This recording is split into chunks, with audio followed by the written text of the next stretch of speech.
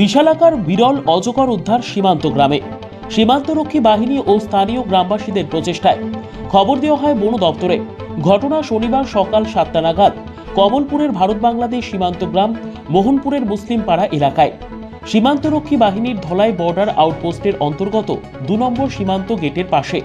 সকালে বাহিনীর জওয়ান আধিকারিক এবং এলাকাবাসী এক বিশালাকার বিরল প্রজাতির অজগর সাপ দেখতে পেয়ে এটিকে আটক করে। খবর পেয়ে এলাকায় গিয়ে দেখা যায় প্রায় বারো ফুট দীর্ঘ এই অজগর সাপটিকে সুরক্ষিতভাবে আটকে রেখেছে। এ বিষয়ে এক এলাকাবাসী জানালেন এখন বনকর্মীরা কখন এসে সাপটিকে উপযুক্ত প্রাকৃতিক আবাসে রাখার জন্য নিয়ে যাবেন সেই অপেক্ষায় রয়েছেন গ্রামবাসী ও সীমান্তরক্ষী বাহিনী। এ ব্যাপারে বলেন। বলল? এটা বুড়ো সকালে ধরা গেছে ছয়টা সময় ধরা গেছে এই জায়গাটার নাম কি? মোহনপুর। হ্যাঁ।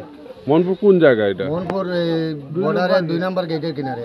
মানে বিএসএফ দুই নাম্বার গেট বিএসএফ এর দুই নাম্বার গেট কিনারে সাপটা কি রাস্তায় পেলেন না কেউ বাসাতে দেখলেন? হ্যাঁ রাস্তায় দেখা গেছে। ঠিক কাউকে কামড়েছে? না না না। নিজস্ব প্রতিনিধির রিপোর্ট দুরন্ত টিভি।